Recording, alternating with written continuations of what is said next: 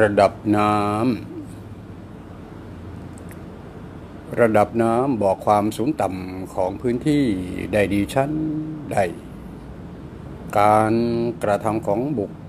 คลใด ๆ ไม่ว่าจะออกมาจากทางกายหรือวาจา ย่อมบ่งบอกถึงระดับใจได้ดีฉันนั้น สวัสดีครับท่านที่ กำลังอยู่หน้าจอที่เคารพกระต้อน รับทุกท่านเข้าสู่รายการปรัชญาชีวิต ปรัชญา ปรัชญา ปรัชญาชีวิต เพียงแค่คิดก็จบ เสร็จ เสร็จมาละกะปรัชญามันคืออะไร ก็คือภาษา แล้วหมายความความหมายของภาษานี่คืออะไร ก็คือปัญญา ปัญญาก็คือภาษา ความหมายของปัญญา หรือปัญญาหมายความว่าอะไร ใครจะเป็นคนตอบทีนี้เอาละสิครับ ใครจะเป็นคนอธิบาย ว่าความหมายของมัน ความหมายแทน แทนคำว่าปรัชญาหรือแทนคำว่าปัญญาเนี่ยจะหมายความว่าไงผมว่าจะมาติดล็อกที่ภาษาหมดแล้วต่อไปนี้นะครับ ใครละครับ ที่จะเป็นบุคคลที่ทะลุทะลวง ผ่านเส้น ผ่านเส้นอะไรผ่านเส้นรุ้งก็ได้ เส้นแวงก็ได้ ลาติจูดก็ได้ลองติจูดก็ได้ ผ่านเส้นลองติจูดไป จึงจะรู้ความหมายของคำว่า ปัญญาเส้นนั้นคืออะไรเอ่ยตอบเลยนะฮะ คือความสว่าง ความสว่าง ความสว่าง เนาะเลยนะฮะความความหมายของปัญญา philosophy philosophy นะครับ อันเดียวกัน อันเดียวกันจำไมล่ะ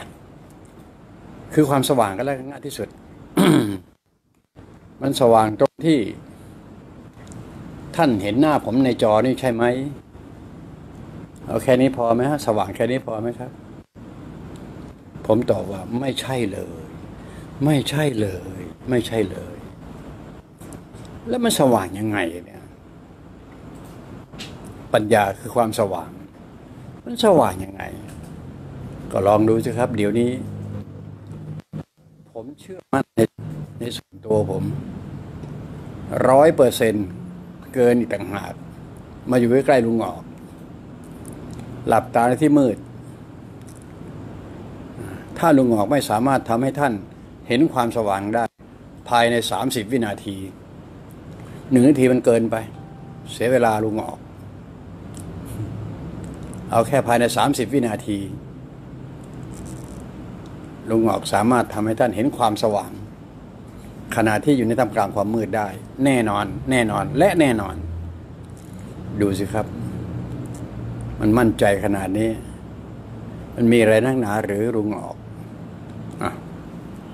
ก็รุงออกเพียวนี่ยี่ไม่รู้เลย ป่านนี้ไม่รู้อยู่แล้วว่า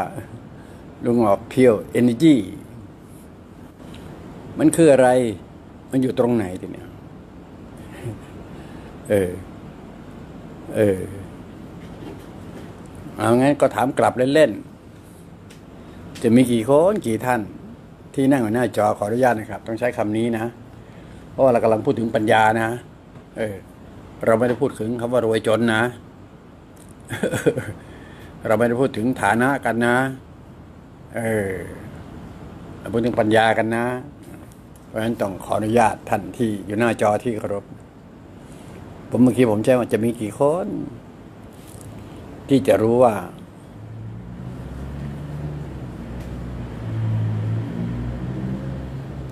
จะไปต่อไงผมก็พยายามนึกเอาภาษาอยู่เนี่ย เพราะภาษาเนี่ยไปไหนมันติดล็อกหมด มันจะใช้ภาษาไหนมาพูดคุยมันก็ติดล็อกหมด ครับภาษานี่เป็นสื่อความหมายให้เกิดความเข้าใจซึ่งกันและกัน ก็จริงอยู่ แต่ก็จริงมันล็อกนะพี่เอ๋ยนะก็ต้องแปว่าต้องข้ามภาษาไปไม่ข้ามยังไงข้ามภาษาเนี่ย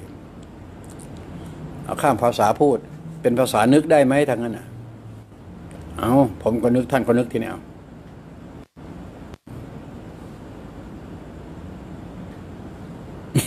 ได้ไหมท่านได้ไหมทีนี้ก็ไม่ได้อะเอาลุงหอกนึกเอาได้ไหมทีนี้เอาหลับตานึกด้วยเห็นไหมมาแล้ว ภาษานึกลุงหมอกมาแล้ว เพราะฉะนั้นก็ต้องหลับตาเล่าให้ฟัง ฟังให้ดีนะฮะ ปรัชญา ปรัชญาชีวิตปรัชญามันคืออะไร คือภาษา ความหมายภาษา ก็คือปัญญา พอไปถึงปัญญาปุ๊บก็เป็นภาษาอีกแหละ ความหมายของภาษาซึ่งบอกว่าปัญญานั้นมันคืออะไรคำตอบสุดท้ายอย่าต่อรองนะครับ ตอนนี้คือความสว่างเห็นได้ในตา ปิดตาเดี๋ยวนี้ก็เห็น ไม่ต้องให้แสงอะไรเข้าตาได้หมดทำได้เหมือนผมไหมล่ะ ท่านที่อยู่หน้าจอที่เคารพครับ ถ้าไม่ได้เหมือนผมก็แปลว่า ท่านก็ไม่ใช่ผม ผมก็ไม่ใช่ท่านเดียวทีนี้เจ้าความสว่างมันมันจะวิวัฒน์กันไปยังไงต่อ ลุงหงอก็บอกว่าความสว่างคือจิต เออ เช่น จิตคือความสว่าง ความสว่างคือบุญบุญคือปัญญา เพราะฉะนั้นความสว่างก็ต้องคือปัญญาเนี่ยหลับตาเห็นความสว่างก็ไปเรื่อยทีนี้ครับ มันจะพาไปเอง ใครก็ตามที่สามารถหลับตาอยู่ในท่ามกลางความมืดได้ คนนั้นแหละจะมีปัญญาคำถามมีว่าคำว่าปัญญาเนี่ยมันเปอร์เซสว่าร้อยเปอร์เซ็นต์เนี่ย เอาคำว่าร้อยเซนติเมตรกันแล้วกัน คนไหนที่มีความสว่างมากขึ้น เริ่มต้นก็ห้าเซนติเมตรเนี่ยหรือห้าเปอร์เซ็นต์ว่าไปสิบห้าสิบหกสิบก็สว่างขึ้นไปเรื่อย สว่างไปเรื่อยจนกระทั่งไปถึงเส้นร้อยที่นี่ครับ เกินสว่างแล้วพี่ตรงนั้น เป็นใสทันที ตัวใสเนี่ยคือ เป็นตัวที่บอกว่า ในระดับพุทธปรัชญานะครับ หรือในระดับพุทธปัญญา จึงจะได้ความใสนั้นมาครอบครอง แต่ทั้งหมดก็คือเรื่องของจิตบอกไงจิตคือความสว่าง ความสว่างคือบุญ บุญคือปัญญา สุดท้ายถ้าเอาจิตเป็นตัวหลัก ภาษาเป็นตัวหลัก ปัญญาที่ว่านี้จิตต้องใสครับผมเห็นไหมครับ ความใสตรงนั้นแหละ ก็คือปัญญาที่บริสุทธิ์เพียววิสดอมได้เลย ชัวเลยแหละครับ เห็นไหมฮะลุงออกถอยหลังมาให้หลายกล้าว จะเรียกชื่อว่า พลังงานบริสุทธิ์ ถามว่ามันคืออะไร มันอยู่ที่ไหนทีเนี่ยโอ้วันนี้จะแบกช้างฟังมั้งวันนี้ หรือว่าขึ้นยอดตาลฟัง หรือว่าขุดหลุมฟังดีอะ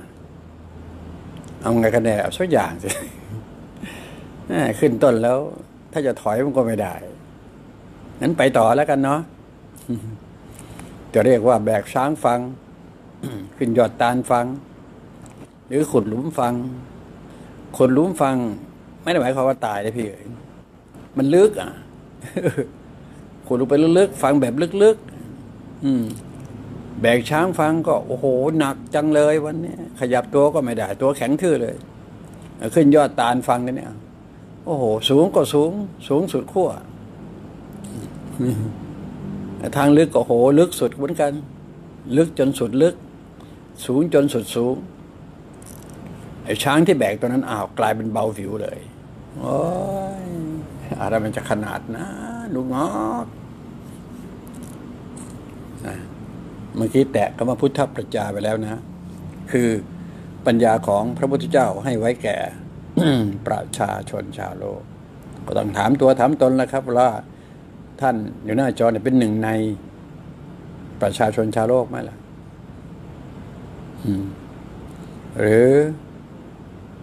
พุทธปรัชญาคือปัญญาของพระพุทธเจ้าให้ไว้แก่มนุษยชาติ ประจำโลกใบนี้ รวมแล้วหลงจ้อง พุทธบริษัทสี่ก็ต้องตับกลับมาถามตัวเองเดียวท่านที่อยู่หน้าจอเนี่ยเป็นหนึ่งในมนุษย์ไหมล่ะเจ็ดแปดพันล้านคน ถ้าเป็นหนึ่งในมนุษย์ที่ว่านั้นก็น่าจะพอเข้าใจหรือเข้าใจในสิ่งที่ลุงหอกกำลังหลับตาเล่าให้ฟังอยู่ในขณะนี้ ย้ำพุทธปรัชญาคือปัญญาของพระพุทธเจ้าให้ไว้แก่มนุษยชาติในโลกใบนี้กันแล้วเห็นไหมครับ ถามว่าอยู่ที่ไหนทีนี้มันคืออะไรดีกว่า คืออะไรอยู่ที่ไหน ลุงหงอกเอามาใช้ได้ยังไง เออ มันคืออะไรคำตอบสุดท้ายอย่าต่อรองนะ เพราะเป็นคำที่ต่อรองไม่ได้เลย รู้ก็รู้ไม่รู้คือไม่รู้ ได้ก็ได้ ไม่ได้คือไม่ได้ ถึงก็ถึงไม่ถึงคือไม่ถึง ครับ อันนี้เป็นทางเลือกอื่นที่บอกว่าห้ามต่อรอง คืออะไร คือ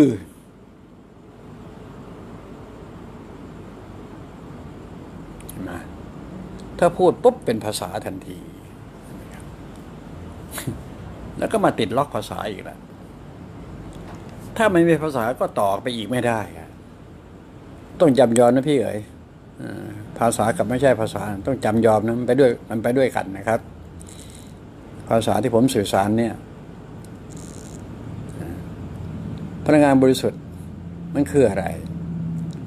คำตอบสุดท้ายจะต่อรองนะครับ คือ จะบอกว่านิ่งก็ได้ จะบอกว่าค่าคงที่ก็ได้ จะบอกว่าคือ คือว่างก็ได้ อืม อืม อืม ภาษาของพระศาสดาพูดเอาไว้ก็คือ ปรมัตสัจธรรมแล้วพระศาสดาองค์อื่น ๆ ที่อยู่ในโลกเนี้ยก็มักจะพูดว่านั่นคือ พระเจ้านะเข้ากันได้ไหมทีเดียวใช่ไหมนะนะนะแต่ทางผมจะบอกว่า คือพระธรรมคำว่าพระธรรมคือ สิ่งที่มีอยู่แล้ว เจ้าชายนะ เจ้าชายสิทธัตถานักบวชผู้ยิ่งใหญ่ ยิ่งยงที่มีแต่ความเป็นหังกา เป็นผู้ที่ใช้ ร่างกาย ฐานะความเป็นอยู่ทุกอย่าง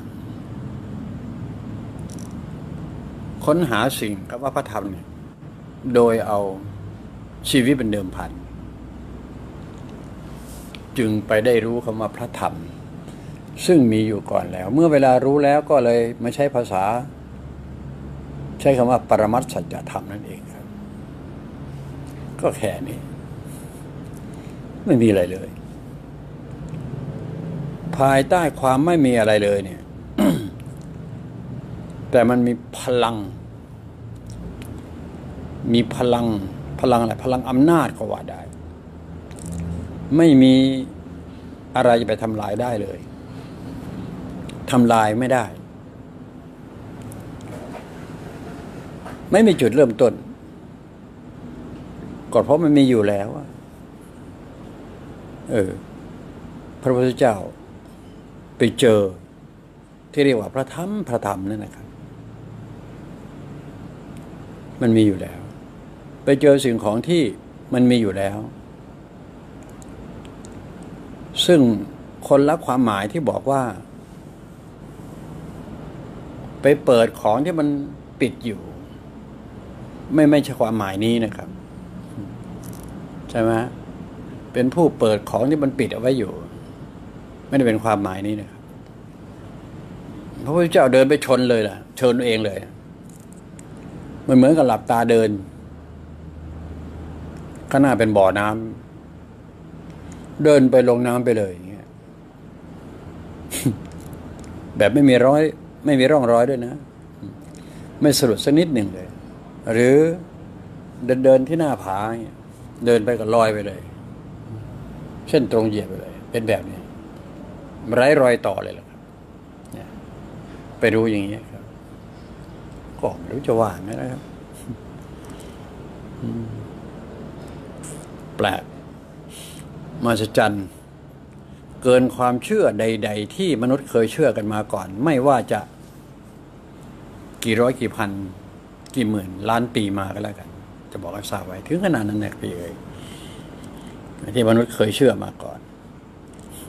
เชื่อมากี่พันปีก็เชิญนะมัธยาศัย เกินความเชื่อที่ว่านั้นทุกประการเหนือความจริง ที่มนุษย์จะกี่พันปีกันมาแล้ว ที่บอกว่านั่นคือจริง นี่คือจริง นั่นคือกล้วยจริง นั่นคือแอปเปิลจริง นั่นคือช้างจริง ม้าจริง นั่นคือภูเขาจริง ทะเลมหาสมุทรจริง ท้องฟ้าเมฆจริง เกินกว่าความจริงที่กำลังที่พูดอยู่ตรงนี้ โอ้ยตายเลยงานเกินความเชื่อเหนือความจริง จะคุยกันเรื่อง รู้เรื่องไหมเนี่ย ก็ถึงบอกนะครับวันนี้แบกช้างฟัง ใครเนาะเป็นคนแบกช้างฟังนะหรือว่าใครเนาะเป็นคนที่หลุดขุดหลุมฟังหรือใครเนาะจะขึ้นยอดตาลฟังก็แปลว่า ถ้าขาดปัญญาเพียงน้อยนิดนะฮะคำว่าน้อยนิดแปลว่าร้อยเปอร์เซ็นต์ไม่มีสักเปอร์เซ็นต์เดียวยุ่งเลยครับ จะไม่ได้อะไรเลย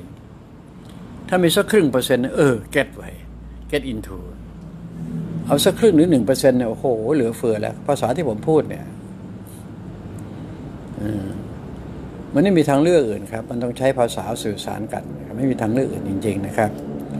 ก็พยายามขย่อนภาษาให้ฟังนะครับ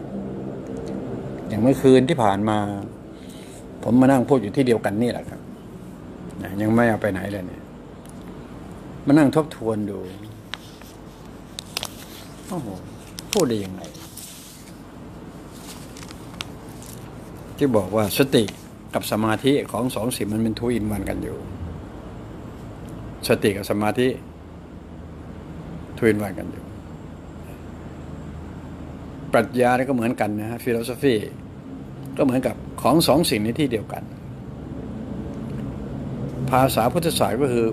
จะเรียกกันว่า อิทัปปัจจยตา เห็นไหม แทนข้าวซะของสองสิ่งสิ่งหนึ่งก็คือ มือขวานี่ก็แล้วกัน ที่สองคือมือซ้ายก็แล้วกันมันก็อยู่ในที่เดียวกัน ของสองสิ่งในที่เดียวกัน นั่นนะฮะความหมายของคำว่า อิทัปปยตา ซึ่งเป็นภาษา หมายความว่าของสองสิ่งอยู่ที่อยู่ในที่เดียวกัน จะบอกว่าดำกับขาวก็ได้ ยาวกับสั้นก็ได้ สูงกับต่ำก็ได้ ของสองสิ่ง ม้ากับช้างก็ได้หญิงกับชายก็ได้ ท่านอยู่หน้าจอผมอยู่ในจอก็ได้ ของสองสิ่งอยู่ที่เดียวกัน ถ้าปราศจากสักสิ่งใดสิ่งหนึ่ง ตัวนี้ก็อยู่ไม่ได้ ก็หายหมดครับ นั่นนะฮะคำว่าว่างไม่มีอะไรคือตรงนั้นเองครับ เพราะนั้นสิ่งนี้จะรู้ได้โดยความรู้สึกนั้นคนที่ทำสมาธิสติสมาธิเนี่ยพอทำไปถึงจุดหนึ่งแล้ว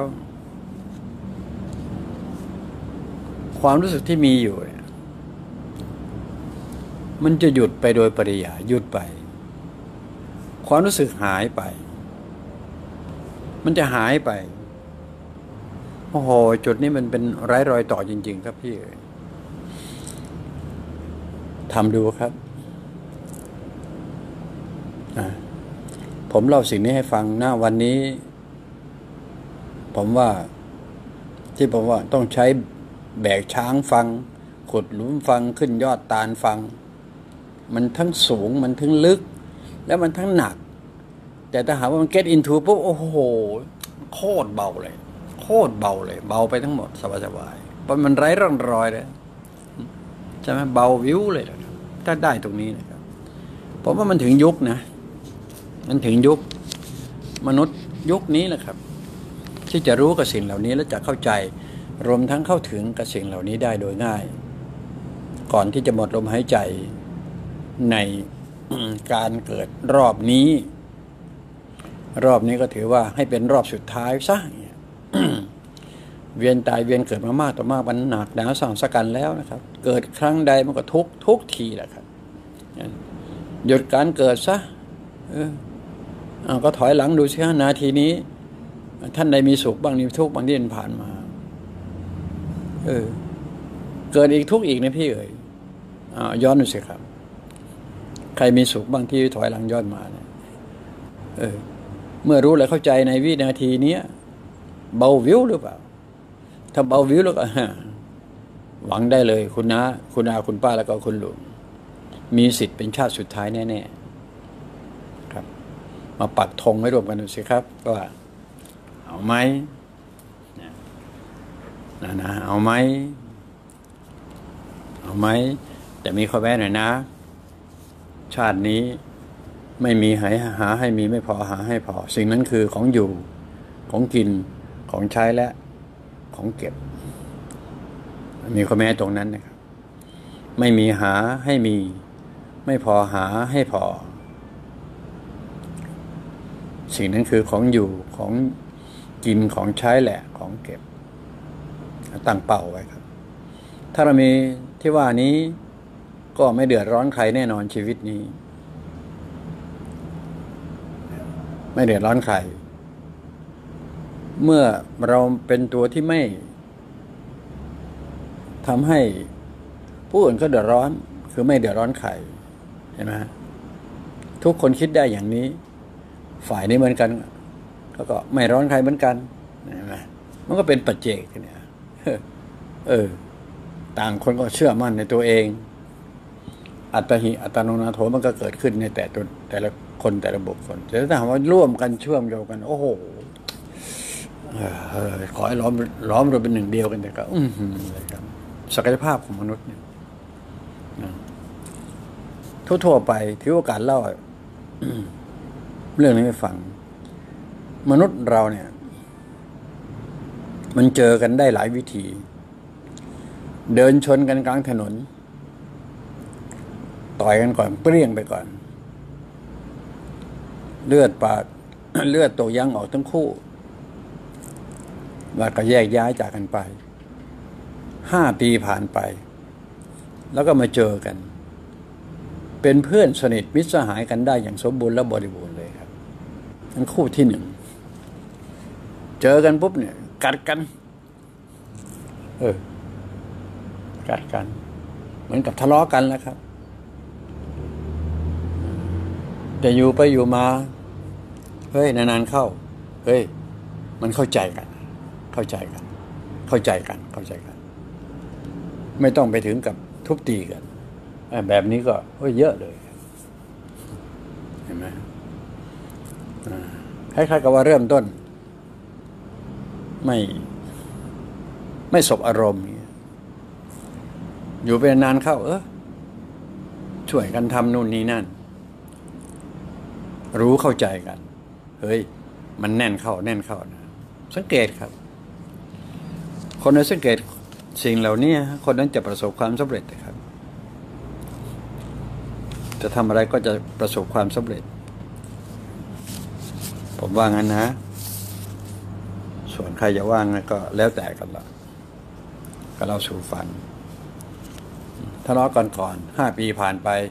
เจออีกทีหนึ่งเป็นเพื่อนกันเลยนะครับ หรือเป็นแล้วก็ว่ากันไปนะครับ เป็นสามีภรรเมียว่าไป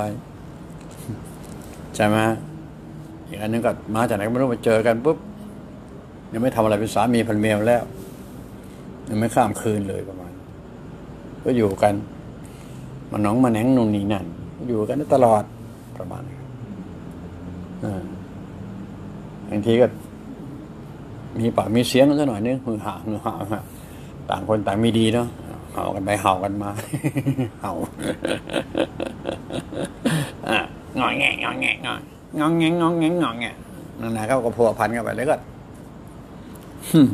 ล้อมเป็นหนึ่งเดียวกันห้วยอะไรต่างๆมันก็จะเกิดแค่ก็ มันจะมี passion เกิดขึ้นมา ในตัวของมันเองนะครับ passion มันแปลว่าอะไรก็ไม่รู้นั่นนั่นนั่นนั่น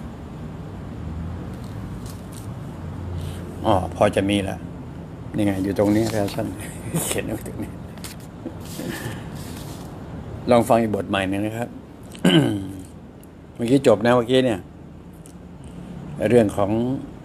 ปัญญานะครับ ก็คือความสว่าง ตามความสว่างไปในตาแล้วเนี่ยถึงที่สุดแล้วมันจะเป็นความใส พอใสปุ๊บเนี่ยคือ เป็นปัญญาที่บริสุทธิ์เลยนะ หรือจิตก็จิตบริสุทธิ์ไปเลยนะครับ พลังงานก็คือพลังงานบริสุทธิ์ไปเลยทันที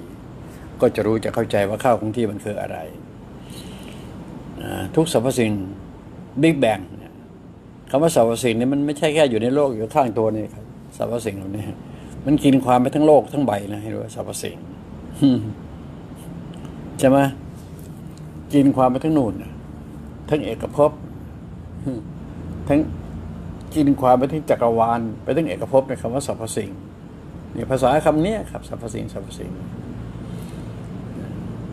มันจะมีก่อนก่อนที่จะเกิดสรรพสิ่ง ในเอกภพนี้ มันมีอยู่ก่อนแล้ว สิ่งนั้นถ้าหากว่าเอาภาษาเข้ามาแทนที่เป๊ะความว่าปรมัตพระเจ้า พระธรรม สุญญตา อนัตตา โลกุตตรธรรม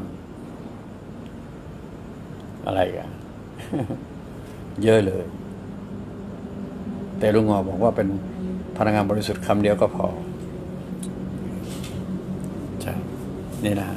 นี่ครับว่าข้าวคงที่ทุกสรรพสิ่ง เกิดมาอยู่ในท่ามกลางของค่าของที่ ภาษาวิทยาศาสตร์ก็จะเรียกว่า Big Bang นะครับเพราะฉะนั้นสิ่งที่กำลังพูดเนี่ยมันมีคำว่า before Big Bang before Big Bang แล้วก่อนที่มันจะมีคำว่า before คืออะไร ตอนเนี้ยลูกงอกซวยเลยก็ Big Crunch ก็แล้วกัน ง่ายดี ดูดกับพลักอะไรเกิดก่อนกัน นี่ น่าสนใจนะพี่เอ๋ยฟังดีนะฮะดูกับผลัก ตามภาษาวิทยาศาสตร์ไว้ก่อนนะ v จะเท่ากับ p แต่พิสูจน์ไม่ได้หรอก แต่เขาก็ยอมรับกันนะ v คือ vacuum p คือ pressure vacuum คือดูด pressure คือผลักคำถามมีว่า ดูดกับผลักอะไรเกิดก่อนกัน คิดอย่างสามัญสำนึกเลย ระหว่างท่านกับผมอยู่หน้าจอคำถามคำนี้ถามร้อยคน เก้าสิบเก้าคนจะตอบว่าผลักมันจะเกิดก่อนดูด เช่น ท่านผลักผมผลักเนี่ยผมก็มาผลักท่านนั่นนะจะเกิดก่อนใช่ไหมครับไอ้ตรงเนี้ยมันก็มีคำนึงมาทดแทน ถ้าผมผลักปุ๊บ แปลว่าผมเป็นฝ่าย action ท่านถูกผลักก็ฝ่ายรี action ภาษาวิทยาศาสตร์บอกว่าแอคชั่นจะเท่ากับเ reaction ก็วางไว้เฉยแต่พิสูจน์ไม่ได้หรอกพิสูจน์ให้ตายก็ไม่ได้ ยกเว้นตั้งเป็นสมมติฐานขึ้นมาคณิตศาสตร์คำนวณไม่ได้หรอกยกเว้นตั้งเป็นสมมติฐานขึ้นมาอะคำนวณได้ก็แล้วกัน แต่วิทยาศาสตร์ทำไม่ได้ ทดลองทำนั้นไม่ได้เด็ดขาดเห็นไหมวิทยาศาสตร์ไปไม่ถึงกระทรวงเหล่านี้น่าแน่นอน ถามว่าอะไรเกิดก่อนเกิดหลังนะดูกับผลัก99%คนทั้งโลกก็แล้วกัน 8 ล้านคน เอ้ย8พันล้านคน จะบอกว่าผลักจะเกิดก่อนลุงงอกบอกว่าดูดเกิดก่อนเห็นไหมคนละเรื่องนะดูดพอดูดปุ๊บมันจะผลักประหลาดประหลาดเรื่องนี้ เพราะฉะนั้นเอาสามัญสำนึกที่มนุษย์ที่จะมาพูดคุยกันเนี่ยไม่ได้เลย มันต้องไร้สำนึก เกินคำว่าสำนึกสำนึกสำนึกคือความรู้สึก ไร้ความรู้สึกฮะจึงจะอธิบายตรงนี้ได้เพระเอิญลุงหอกเป็นบุคคลที่ไร้ความรู้สึก ซึ่งเรียกว่า abnormal และหรือ unconscious นั่นเองตัวบอกแอปอะไร absolute ก็ได้ ก็แล้วแต่จะว่ากัน คนไหนที่ถนัดภาษาไหนก็ใส่เข้าไปเถอะจะไหมล่ะ โอเคนะ พอได้นะ มสนองเถอะสองแรงเห็นไหมเมื่อกี้แรงดูดแรงผลักนั่นแหละครับ แรงดูดแรงผลักสองแรงเท่านั้นนะแต่จะไม่เอาสิ่งนั้นเข้ามาพูดจากันตรงนี้ อยากจะบอกว่าแรงที่หนึ่งมนุษย์กับมนุษย์นะที่เนี้ยท่านกับผมนะหรือว่าใครก็แต่หรือท่านกับใครก็ตามในโลกนี้มันจะมีอยู่หนึ่งแรงอะไร แรงของความพอใจ แรงรักก็ได้ แรงหึงก็ได้ ใช่ไหม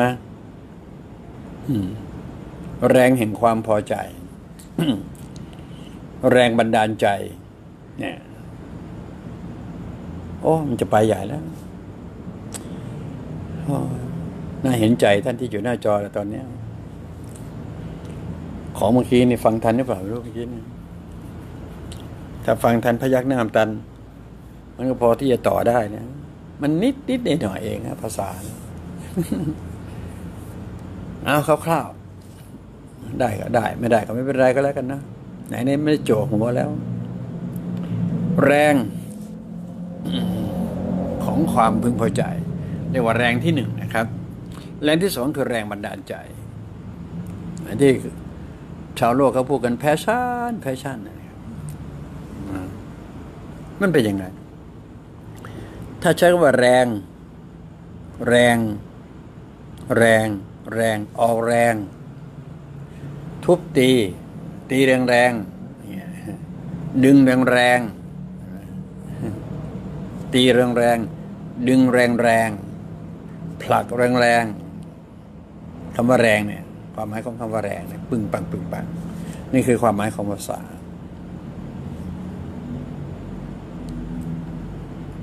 แล้วมีแรงบันดาลใจอีก โอ้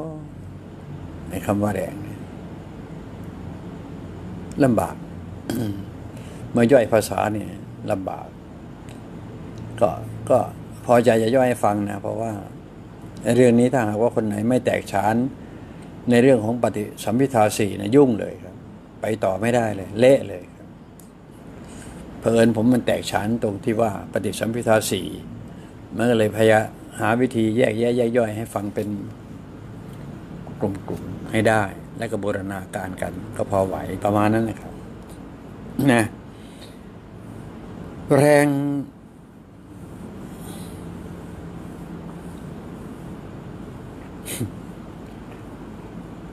แรงผลัก แรงดูด แรงดูด แรงผลัก อืม ถ้าแรงผลัก เป็นแรงบันดาลใจได้ไหมเนี่ยอย่าเพิ่งเคาะนะฮะถ้าแรงผลัก มันจะเป็นแรงบันดาลใจได้ไหมอย่าเพิ่งเคาะอย่าเพิ่งเคาะถ้าแรงดูดอะเป็นแรงของความพอใจไหมอะแรงดูด เป็นแรงของความพึงพอใจ แรงดูด แรงดูดแรงดูด ดูด พอใจอยากได้สิ่งของอยู่นอกตัว ก็ดูดมา ดูดมาเอาเข้ามาเออแรงดูดคือแวคคูอัมนะครับ ดูดเข้ามา ดูดเข้ามา ฉันรักนายกอ ฉันก็อยากจะได้นายกอไปเป็นคู่ครองเรือน ฉันรักนางสาวขอก็เหมือนกัน ก็อยากจะได้นางสาวขอมาเป็นคู่นอนกอดกันประมาณนั้นนะครับนะมันเป็นแรงดูด ความรักมันเป็นแรงดูด ดูดอยากให้เข้ามานะดูด้วยแล้วมันก็ตามไปอย่างเงี้ย มันประหลาดประหลาดเรื่องแรงนะดูดปื๊ดอันนี้มันก็เข้าไปเข้าไปทีน้อยสองน้อย โอเคไหมมองออกไหมครับที่ว่าเนี่ย ต้องเนียนจริงๆครับ มันต้องมีคนที่มีความคิดได้ถึงสี่สี่เซกชันนะสี่ช่องทางจึงจะเข้าใจ ต้องเป็นคนที่มีความเข้าใจ มีความคิดตั้งสี่ช่องทาง จึงจะสุดยอดของปัญญาประมาณนี้สามช่องทางก็ถือว่ายอดแล้วครับ มีความคิดอยู่สามช่องทางไอ้แค่หนึ่งสองหนึ่งมันจะไม่เก็ตมันจะไม่เข้าหนึ่งกับสองมันจะไม่เข้า ความคิดหนึ่งสองช่องทางเนี่ยมันจะไม่เข้า ถ้าคนนั้นที่มีมิติของเหลี่ยมที่สามช่องที่สามเนี่ยคือคือช่องของปัญญาเนี่ยมันจะเข้า มันจะผสมผสานกันน่าน่าน่าน่าเรื่องนี้ไม่ไม่ใช่เรื่องเล่นๆนะครับ มันถึงยุค ศตวรรษที่ยี่สิบเอ็ดแล้วยุคเทคโนโลยีมันมาสูงส่งมากแล้วครับ ถ้าหากว่ามาไม่มาปรับความคิดอะไรต่างๆนะเข้าตามนะจะอยู่ยากครับบอกนะการศึกษาบ้านเราเนี่ยสูญเสียมาเยอะ สิงคโปร์จะเก่ง เพราะว่าเขาวางรากฐานของการศึกษาเข้าไปตลอดสิงคโปร์จะเก่งกว่าทางด้านฮ่องกงนะครับเยอะกว่า เพราะว่าประเทศเขาเขาวางรากดี รากแนวทางของการสอนจะดี บอกให้ทราบไว้นะครับ สิงคโปร์จะเก่ง การศึกษาสิงคโปร์จะเก่งครับ เรื่องพวกนี้แต่สิงคโปร์ก็จะมีพละกำลังร่างกายเหมือนคนไทยหรือเปล่า คิดว่าคงไม่นะผมผมว่าไม่นะกำลังแต่ความคิดเขาแหลมคมครับ ซับซ้อนซ่อนเงื่อน แต่ทั้งหมด ก็ก็มีความซื่อสัตย์ครับนะนะนะน่าครบครับ คนสิงคโปร์น่าครบนะครับ ก็หวังว่าคงจะ ก็ยังไม่เข้าใจอยู่นะครับผมก็น่าเห็นใจแต่ผมจะเดาทำไมผมจะเดาผู้ฟังไม่ออกของแค่นี้เดาได้ก็ไม่รู้จะว่าไงนะครับ ก็เล่าให้ฟังแค่นี้ แล้วจะเล่าบ่อยๆให้ฟัง ส่วนแรงบันดาลใจมันเป็นแรงผลัก อย่างเช่น ถ้าตัวเราเนี่ยเกิดความเจ็บปวดใช่ไหมเจ็บปวดแล้วก็ไม่รู้ละมีโรคภัยแค่เจ็บประจำตัว มันจะเดินหน้าก็ไม่ได้ ถอยหลังก็ไม่ได้ ออกซ้ายออกขวาจะตายก็ไม่ตายสักทีนึงประมาณนี้นะกลั้นใจแล้วมันก็ไม่ตายผูกคอแล้วมันก็ยัง ครึ่งหนึ่งอยากตายไม่อยากตาย ผูกคอตาย ก็พอเวลาร้องแก้นก็มีคนมาเห็น ได้ยินแล้วก็มีคนมาช่วย มันมันไม่ขาดนะนะนะนะคนประเภทเนี้ยฮะ ประเภท เคย เคยทำลายตัวเองผูกคอตายแล้วก็สุดแท้แต่แต่มันไม่ตาย จุดนี้เป็นจุดผลักดันให้รู้ ผมกลับมองเห็นจุดนี้เป็นจุดเป็นแพชชั่นนะครับที่จะพุ่งไปข้างหน้าแบบโอ้โหหาข้อจำกัดไม่ได้เลยนะถ้าใครก็ตามที่สามารถมองเห็นตัวเองในจุดนี้เนี่ยอย่างนี้มากครับแปลว่าจุดด้อยของตัวเองนะครับ จุดด้อยหน้าวันหนึ่งเวลาเวลานั้นบอกว่ามันเป็นจุดดีจุดเด่น ก็เลยผูกคอพอไม่ตายออกมองเห็นจุดด้อยแล้ว เท่านั้นนะครับ จะทำอะไรไปเอาชีวิตเป็นเดิมพันนั่นจะถือว่า ได้ตัวได้ตัวเป้งมาเลยนะครับ กลายเป็นจุดผลักดันจุดด้อยเนี่ยครับ จุดด้อยความทุกข์เนี่ยอ่าความทุกข์ความยากลำบากมันเป็นจุดด้อย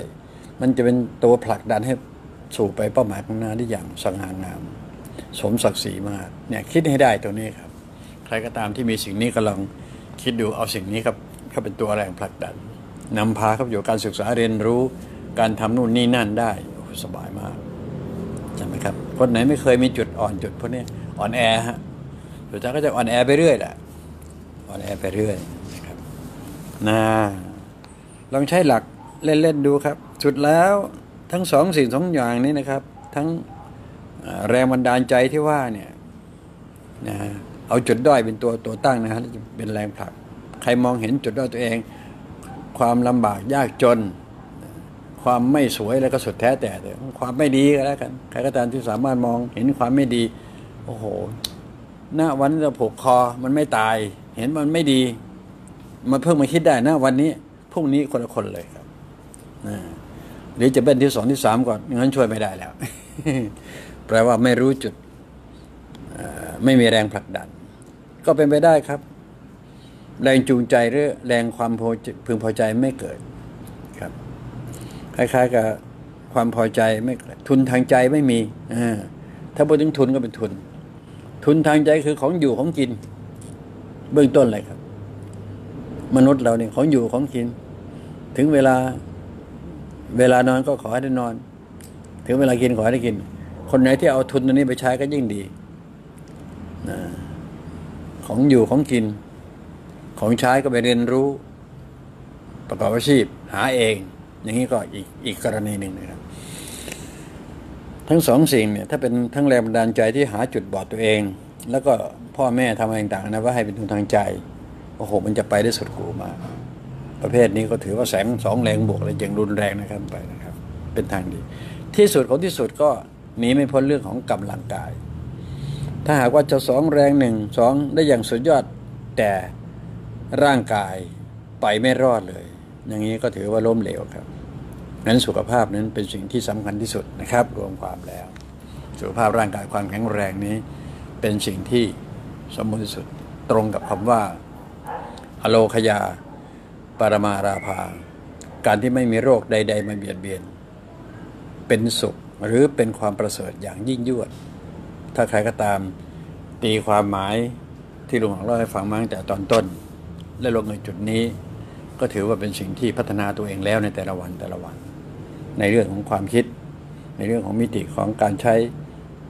ความรู้สึกนึกคิดอะไรก็ว่ากันไป ผมว่ามันเข้าท่าดีเหมือนกันนะพี่นะอะ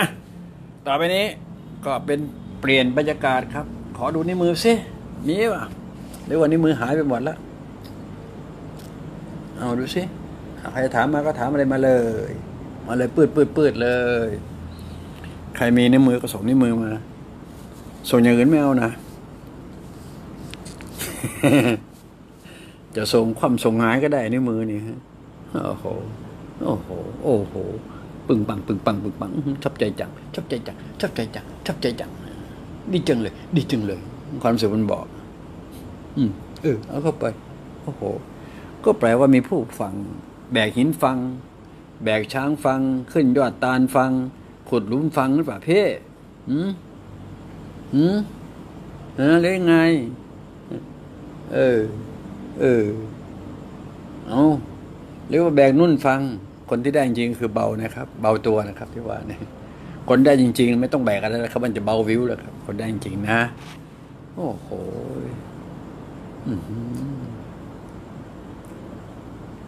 ก็แปลว่าเวลาผมพูดจาลึกๆพวกนี้แต่ไม่ได้ใช้ภาษาแข็งกระด้างนะ ใช้ภาษาตามสไตล์ง่ายๆสาภาษาเนี่ยเออกลับฟัง กลับฟังได้ราบรื่นประมาณนั้นนั่นนะแค่นี้มันก็มองทางออกแล้วว่า เออลุงหอกควรที่จะใช้ลีลาไหนในการนำเสนอพวกนี้ใช่ไหมแค่นี้ก็ดูออกแล้วล่ะ โอเคครับด้วยความยินดี ยินดีว่ายินดียินดีโอ้โหอะไรจะเบิ้ลเอาเบิ้ลเอาเบิ้ลเอาเบิ้ลเอา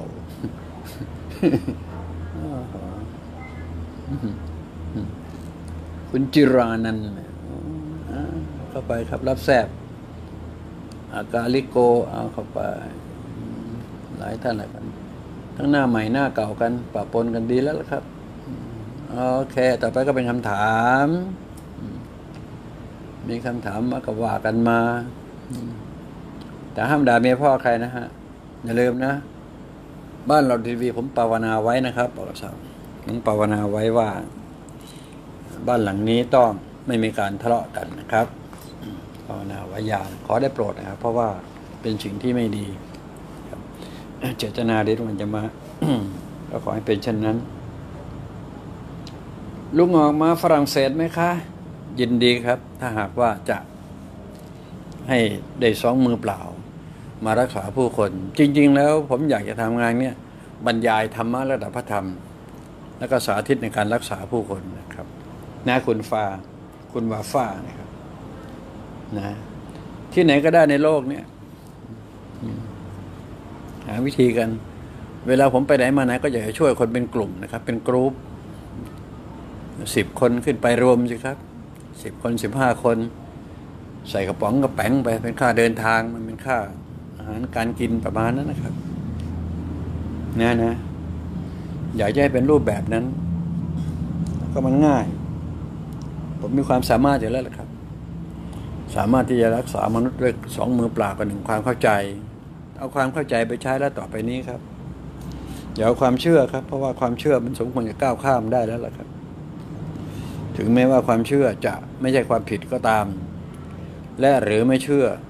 ก็ไม่ใช่ความผิดเช่นเดียวกัน ต่อไปนี้นักศึกษานักศึกษาศาสตร์ จะต้องศึกษาสองทางนะครับ สิ่งใดก็ตามที่เราไม่เคยเชื่อมาก่อน บัดนนี้โปรดให้ความสนใจใฝ่รู้ ที่จะเรียนรู้กับสิ่งที่เราไม่เคยเชื่อมาก่อน ถ้าหากว่าไม่ทำใจอย่างนี้ไม่รับรู้เนี้ยชีวิตต่อไปจะอยู่ยากมาก บอกให้จะอยู่ยากมากครับแค้นใจเลยละครับ ไม่เคยเชื่อมาก่อน บัดนนี้ต้องสนใจใฝ่รู้แล้วครับยิ่งเรื่องผมเนี่ยเป็นเรื่องที่ที่ศึกษายากมากครับ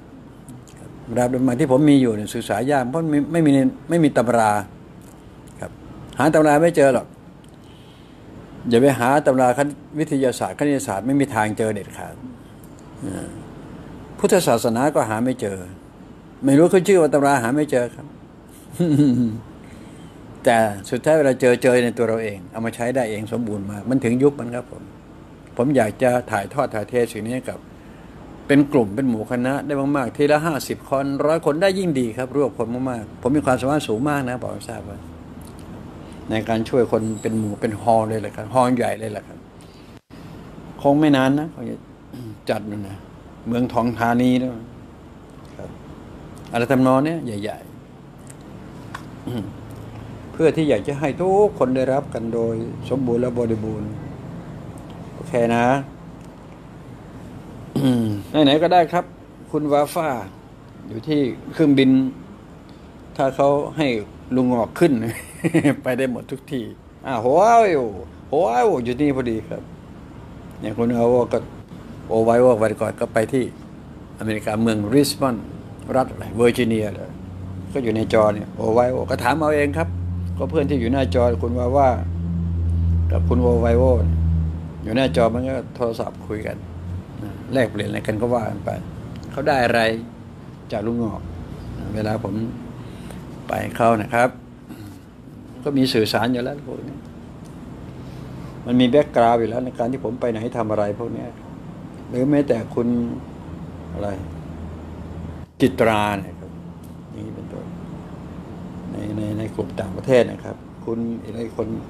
ล่าสุดก็มาที่นั่งเกล้าเนี่ย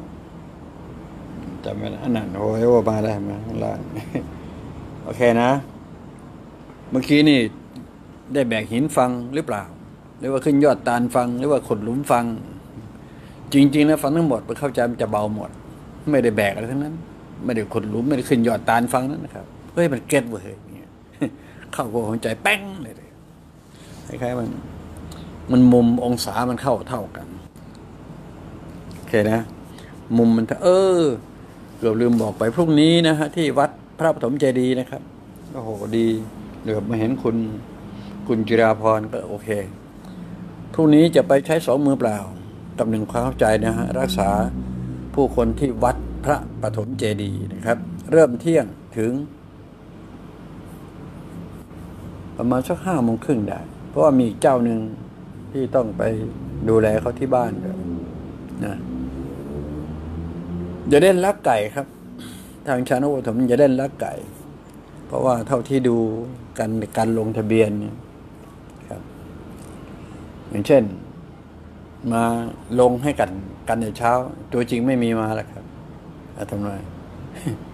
มาลงทะเบียนนู่นนี่นั่น ลงชื่อลงทะเบียนประมาณลงชื่อลงชื่อ ยายามอย่าเล่นลักไก่ครับ ของแค่นี้ก็อย่าเอาไป อย่าเป็นลักษณะการเอาเปรียบกัน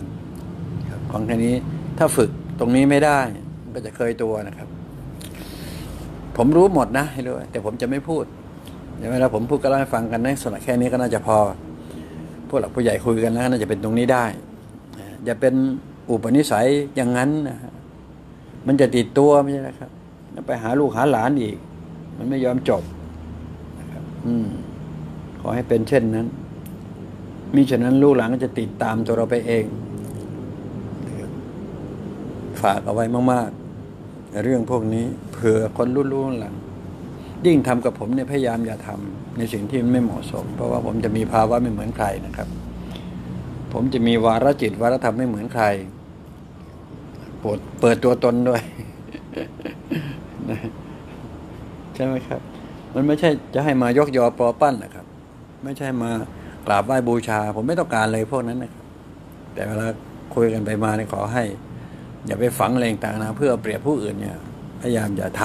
ำเปรียบผู้อื่นอย่าทำมันไม่ดี มันจะติดไปยังลูกหลานเลนหลนนะครับ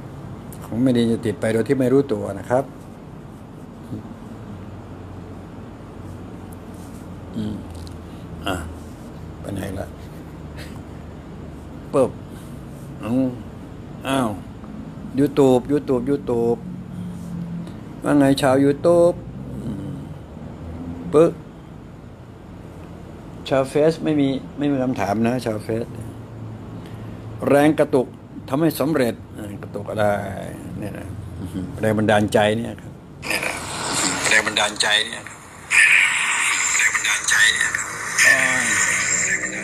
ลดเสียงลดเสียงลดเสียงโอเคลดแล้วจ้า มามามามาเลยครับภาพดูเสียงชัดเจน โอเคครับ จากอ้อมน้อยอ้อมใหญ่นะฮะบางโพก็ชัดเจนเข้าไปน้องแขมเข้าไป ใครจะถามไทยในเรื่องของรักษาสุขภาพนะฮะ เบอร์โทรศัพท์สายตรงเนี่ยศูนย์สองเก้าแปดห้าเก้าแปดแปดหก เสียงผมก็รักษามนุษย์ได้นะให้รู้ไว้ความเข้าใจ เราสามารถใช้จิตดึงดูดให้คนรักกันได้ด้วยหรือครับ แบบพวกคุณสาย โอ้ย เรื่องนี้อย่ามาคุยกับลุงออกนะเนี่ยเพราะว่าผมเป็นคนที่รังเกียจศิลศาสตร์มากนะครับ รังเกียจมากอย่างนี้ที่สุดแล้วถ้าดูตาม ถ้าอธิบายตามมวลรวมกันแล้วกัน ให้โทษแก่เขาโทษนั้นถึงเราไอ้พวกศิลศาสตร์ศิลเวทนะครับมนดำมนแดงเนี่ยครับอยากจะให้เขารักเรา เราใช้เวทมนต์คาถาเอาฮะมันได้ แต่พอเวลาได้ปุ๊บต่อไปไม่ใช่แล้วครับ มันจะตีกลับนะครับ บอกให้ทราบนะเขามีฤทธิ์เดชจริง ๆ นะครับศิลศาสตร์ศิลเวทนะ อย่าใช้ครับ รู้จักลุงหอแล้วก็ตัดทิ้งไปเลยนะครับ เอาโยนทิ้งหมดเลย เคยบูชาอะไรต่างๆนาเกี่ยวพวกนี้นะครับ ทิ้งให้หมด อย่าไว้ในตัวนะครับ เพราะว่ามันไม่ใช่เรื่องดีเลย เราสามารถใช้จิตดึงดูด ให้คนรักกัน มันมันมันหมดยุคแล้วครับ หมดยุคแล้วล่ะครับ ก็ต้องขอร้องนะครับพวกกลุ่มไสยศาสตร์ไสยเวท ขอร้องเขาไว้ โอเคนะ ให้เข้าใจแค่นี้ก็น่าจะพอครับ ไม่ต้องไปยาวเหยียดกัน เพราะว่าทางสังคมมันมีจริงพวกนี้ครับ มันมีมาหลายร้อยรุ่นคนแล้วล่ะครับ ว่าแล้วก็เติมเชื้อเพลิงปุ๊บคุณใสละลายเลยครับลูกงอกสูบยาเนี่ยครับ คุณใสไปเลย ไม่ไปเหลือ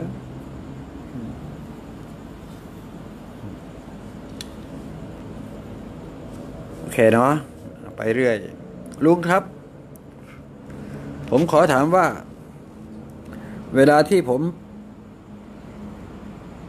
ไป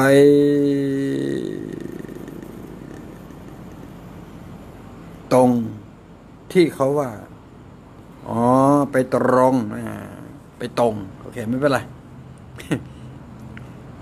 ไปตรงที่เขาว่า มีพลังงานที่ไม่บริสุทธิ์ทำไม ผมจึงขนลุก ไปทั้งตัว เป็นเพราะอะไร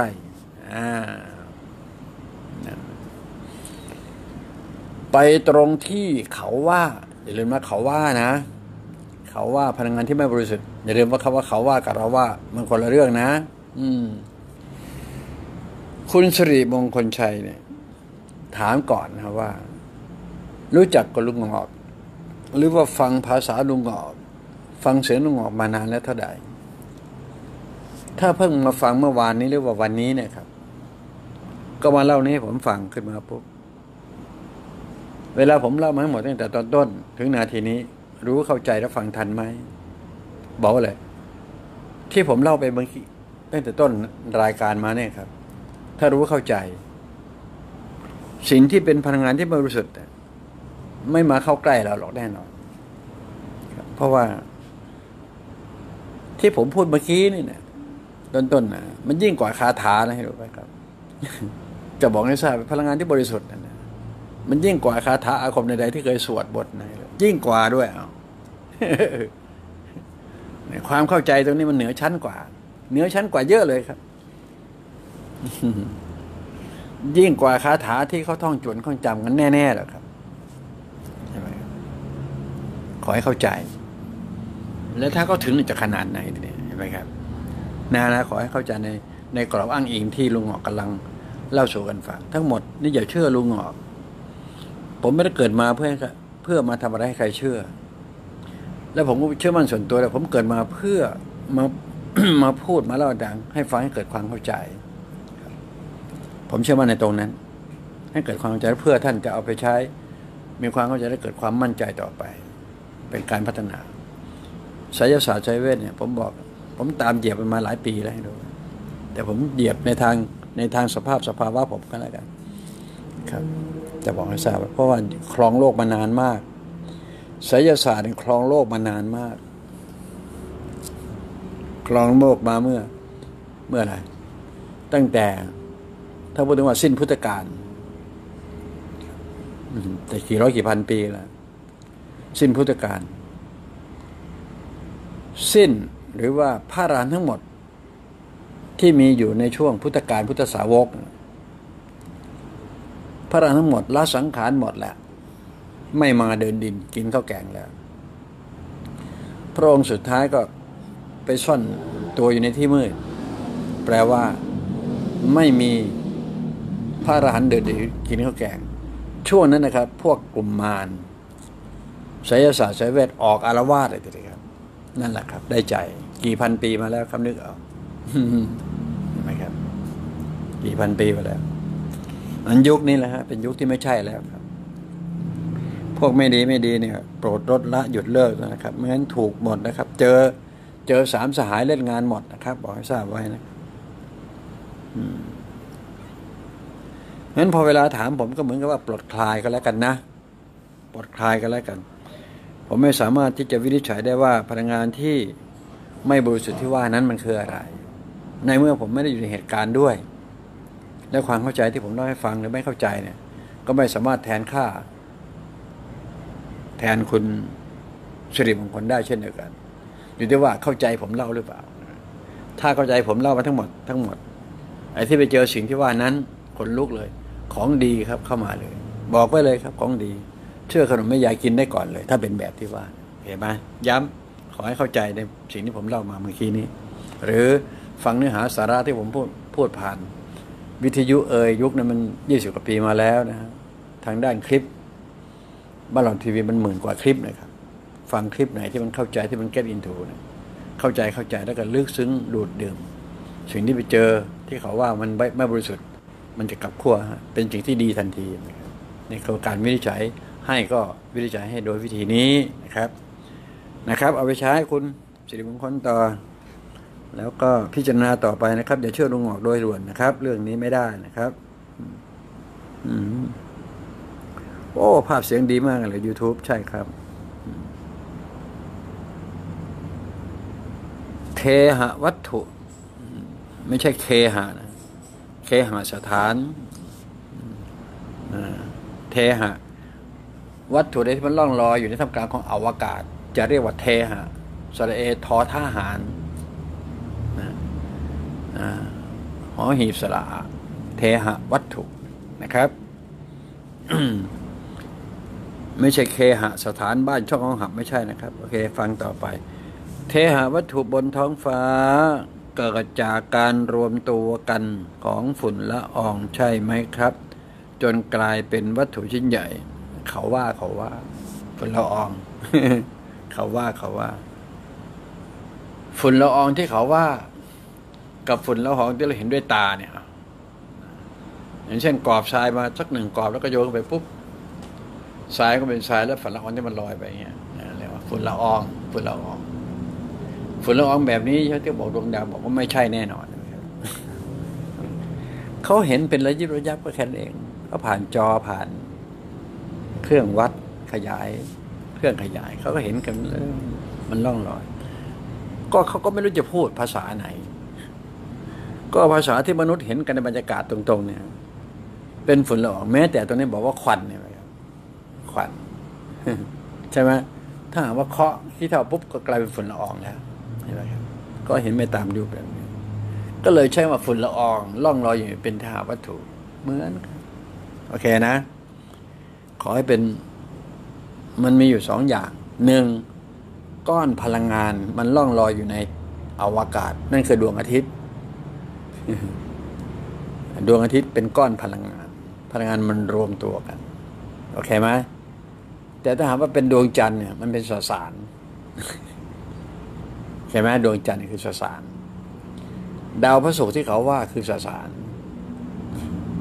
ดาวอังคารที่เขาว่าคือสสาร ดาวเสาร์ที่เขาว่าคือสสาร ไม่รู้พลังงานก็มีศูนย์กลางคือดวงอาทิตย์อย่างเดียว ที่เป็นพลังงาน โอเคไหมครับ อเข้าใจในกรอนนี้ปุ๊บก็โยงต่อได้สบายไอ้เขาว่าฝุ่นละอองก็ช่างเขา แต่เราเข้าใจเขากันแล้วกันแน่ไหมอย่าไปย้อนแย้งเขาเราเข้าใจเขาเขาไว้เพราะว่าเราเพราะว่าเราไม่ใช่เขาเขาก็ไม่ใช่เราสำคัญมากครับเนี้ยเราไม่ใช่เขาเขาก็ไม่ใช่เรา เราไม่ใช่เขา แต่ถ้าว่าเขาอยู่ในที่สาธารณะ เขาอยู่ที่แจ้ง เราเห็นเขาได้สบายเลย อย่างผมทำงานผมทำที่แจ้ง เห็นผมสบายเลยนะครับไม่ได้มีที่มืดตรงไหนในการทำงานนะครับ ก็เห็นผมสบาย โอเคไหมลักษณะเป็นเช่นที่ว่านี่เห็นนะอืมชัดเจนครับ ชัดเจนนะครับต่อลงสรุปนะคุณปานานะครับ ต่อมาก็ผู้ใหญ่ที่ให้เด็กเหยียบนวด แก้ปวดเมื่อย พลังงานที่ไม่บริสุทธิ์ จะพองถ่ายไปหาเด็กทำให้เด็กอ่อนแอได้ไหมครับ โอ้ แน่นอนเลยครับ ได้แน่ๆนะครับ แล้วพลังงานไม่บริสุทธิ์ จะอยู่กับเด็กไปจนโตหรือเปล่าครับ ถูกต้องครับ ถูกต้องครับ ถูกต้องแน่นอนนะครับพลังงานที่แม้กระทั่งหมอนวดใช่ไหมมาถึงหมอนวดพอเวลาผมพูดตรงนี้แล้ว ต้องขออภัยหมอนวดที่รักทุกคนทุกท่านนะครับทั้งหญิงและชายต่างวัยต่างขนาดนะครับ ยอมรับเถอะครับคำพูดต่อไปนี้ เพราะสองมือเปล่าผมช่วยคนเยอะหมอนวดนะครับ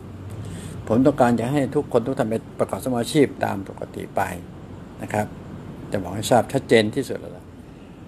หมอนวดในเวลาไปรักษาผู้คนสัมผัสนู่นนี้นั่นก็ไปดูดดึงเอาพลังงานที่ไม่บริสุทธิ์จากเขาเหล่านั้นมาอยู่ในตัว แล้วออกไม่ได้ การที่ออกได้ก็ต้องเป็นสมาธิชั้นสูงครับจึงจะออกได้ อย่างผมเนี่ยผมสบายอยู่แล้วใช่ไหมเป็นสมาธิถึงขั้นปลดปล่อยได้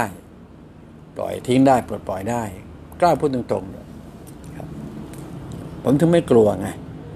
ก็ผมปล่อยของผมได้โอเคไหมครับ ทีนี้การปล่อยได้มันปล่อยปล่อยโดยวิธีไหนสมาธิจิตชั้นสูงอย่างเดียวครับโอเคนะ เพราะฉะนั้นหมอนวดทั้งปวงหญิงวิชาก็ตามที่อยู่ประเทศไหนก็ตามดี ผมอยากจะช่วยนะ รวมตัวไว้เลยครับ หมอนวดเป็นอาชีพนะครับ เป็นอาชีพ จะเป็นออสเตรเลีย ก็รวมไว้ให้ติดบ้างสิครับทำไมต้องไปคนไทยอะ คิดแต่รวมมันบ้างสิครับ ไปอิจฉาแต่เรามันอยู่คนละที่รู้ไหมเออ ถ้ามันร้านมันติดกันไปอย่างหนึ่งจะเห็นเครืองเนี่ย ต่อไปนี้มันต้องรวมกลุ่มแล้วก็สู้กับนวดจีนไปแล้ว เวลานี้เออ จีนจืนนี่แฝงผมฝังผมผมเข็นโอ้ย ใช้เล่มเดียวก็พอแล้ว ใช้ทำไมมากมายนะ เนี่ย พวกเนี้ย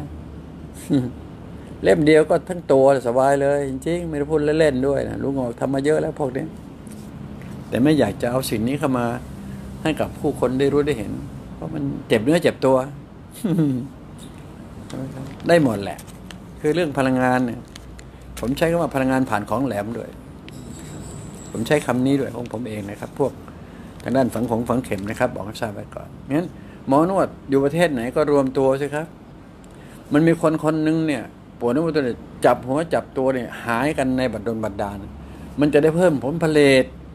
ให้กับตัวเอง ถ้าเป็นองค์ถ้าเป็นแหล่ถ้าเป็นสถานที่ใช่ไหมเขามาใช้บริการ หมอนวด หมอนวดก็ช่วยเขาสบายทุกคน ชื่อเสียงมันก็กลับคืนมากลับคืนมาคนฝรั่งรับรองว่าไม่มีสิ่งเหล่านี้แน่ๆ ผมจะรู้โรคไฮเทคมันเป็นยังไงนะครับ ยิ่งเมืองที่ก็มีเทคโนโลยีเยอะๆเนี่ยยิ่งหนักนะรวมตัวกันนะผมไปช่วยทีละร้อยคนยังสบายๆเลย อย่างมาขอกินข้าวสามสี่ห้ามื้อเอ้ยสามสี่ห้าวันนี่สบายไม่มีปัญหา รู้จักรวมตัวกันครับ ไม่งั้น สู้ต่างชาติเขาไม่ได้นะครับ